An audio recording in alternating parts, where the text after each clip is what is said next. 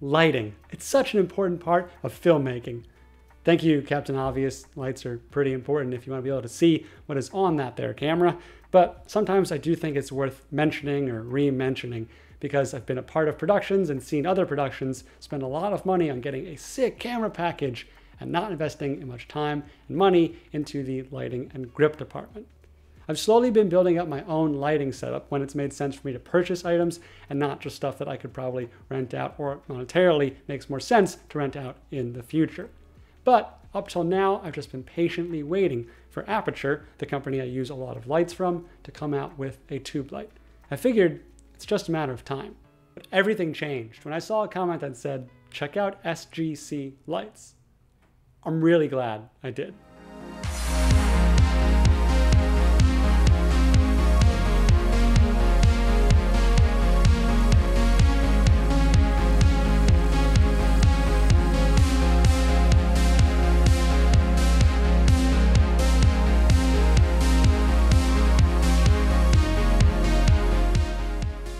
Tube lights have been popular for a few years now, popping up in music videos frequently.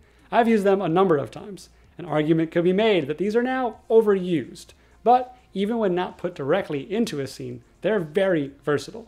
So I knew tube lighting was the next addition I was going to make to my personal kit. But I was in no rush, as a set of eight Titan tubes from Astera costs about $8,300. It's a lot of money. Quasar Science also makes great products, but again, they are pricey. So I figured I'll just rent them when I need them. That's been my philosophy up until now. After I got done being stunned, saying things like, How have I not known about this sooner? I quickly picked up two of the P60s, that's the two foot light, and two of the P120s, that's the four foot light, both of the Prism variety, meaning they have full RGB range of light. And not just because of the price, actually, mostly because of the feature set. The reason I've been sticking with Aputure as I build up my lighting kit is because I want a central solution to control them. Something mobile, something lightweight, something like a tablet. See, SGC Lights says specifically on their website it's some sort of collaboration between Aputure and Quasar Science. So these lights do work with the Sidus Link app, which is how I'm already running the rest of my Bluetooth enabled lights. If you look on the back of the tube, you can see the Quasar Science logo is right next to the SGC, so they've been made in collaboration with the two companies. The app has all the features I need and use, and then some. You can match the lights to an existing light source wherever you are. You can even capture a video that's creating an effect of light, and the lights will generate that effect back. Yeah, so besides changing color and intensity, there's effects built into all of these, and I can run them together we should definitely show those off. There's actually lightning outside right now, so I'm not sure if the lightning is coming from my lights or the actual elements. We can have all the lights simulate a nice cozy fire. We can use these lights to continue to make an unnecessary amount of cop dramas that do the same exact thing season after season. There's even multiple sequences, so if you're in Chicago PD, you can use this one, and if you're in uh, NYPD, you can use that one, or whatever other excuse you need to use to make more police dramas. Please stop making them. You can just go full party lights to simulate every teen high school drama where everyone definitely has the lights considered as part of their sneaking into the basement and drinking plan. Or the ever spooky faulty bulb. Let's get some horror music in there. The ability to mount them and then have control in the app saves me so much time on set to be able to pop through colors, change intensity and brightness at just a click of a button used to have to run over there and deal with a dial whatever. You can still do that, which is great in case you're already close to the light and aren't close to the tablet. But this is such a more convenient system. And you can hand it off to someone. An AC, a gaffer can work in tandem with you. It's just, oh, it's been worth the patience in getting this whole thing set up because now I finally feel prepared for a number of lighting scenarios and I'm not as worried if I'm going to have the ability to control the light in the way I want to in the speed that I need to.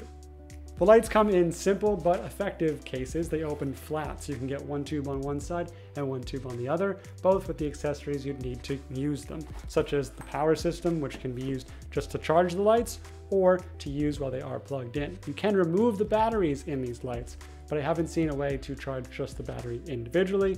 And it also comes with really simple mounting stuff. They just click into this tube holder here, and then this point can be used onto any standard grip equipment to get it mounted to your existing stands, C stands, light stands, whatever. I do wish the cases were a bit more substantial. And what I mean by that is that I wish they weren't so flimsy. The Velcro's a little flimsy on the inside, the exterior is just fine. But internally, it doesn't feel like each accessory has an exact home. But that's the kind of corner I'm okay with it being cut in order to stay at this price point. We haven't even talked about price yet, and after functionality, that was the biggest factor for me choosing these over Quasar or Asteras. And that's because these are quite cheap compared to those competitors. Two of these, the P60 lights, will cost you around 550 and two of the larger 4-foot 120 lights will cost you about 775. Again, a lot cheaper than the competition. My theory is that this is a product affected by all the supply chain and shipping issues going on worldwide right now, and I expect to be seeing them under the Aputure brand name sometime in the States soon. This is a barely visible company, they have an Instagram account with less than 400 followers and just a few YouTube videos out there talking about these products. So why go with this kind of light? Well, I wanted them specifically to use creatively in music videos in the background, practically in a place of you know a fluorescent bulb, and to be a versatile fill light. In my first experience actually working with them, they performed great. A small feature that's really more about the app than it is about the lights that's really handy is it tells you runtime on the app, how long the light will last at the current output you have it set to. Little stuff like that just gives you so much more peace of mind when filming in small indie productions that more often than not have a lot of stuff to get through in a little less time than is ideal. If you're wondering about that project that I just mentioned I used these on for the first time and you want to see it, well, then you should subscribe to the channel so that you will when it comes out. Even like the video if you want to help me get towards my goal of 1,000 subscribers by July. I'm not going to do any CRI tests or output control tests because I don't have the other lights to compare them to, nor do I really have the facilities to give you accurate readings. But I am excited for the future of SJC. I mean SGC. SJC is the drum company I grew up being obsessed over, SGC is the lighting company I'm surprised I didn't know about earlier. A point I think worth making is that lighting is a more commercial industry than it ever has been. It's no longer reserved for just TV and movies. You've got Twitch streamers and all different sorts of platforms looking to create high quality content, for lack of a better term, and good videos need good light. SJC, SGC might be a good option for those creators. There are a few things I hope they improve before these make it to the major retailers like B&H and Adorama, such as a charging solution that is better than taking each light out of its case, taking each charger out of that case as well, and finding however many lights you have, you need that many plugs to charge the lights. It's a lot less convenient than what you can do with the Asteras, which is plug in the entire case and it charges all the lights. But again, this is one fifth the cost roughly. I also wish this control panel was on the back of the light so that you might not see it if it was being used as a practical. So if you've been looking for tube lights that don't cost more than the entire kit just to have one, this is a good place to start. If a video about how to use them with the app and get them set up is something you'd want to see, let me know in the comments. Until next time, please consider subscribing and uh, get ready for the short. We gotta go to party mode, hang on. Thanks for watching, new short coming soon. Until next time, I'm off walking.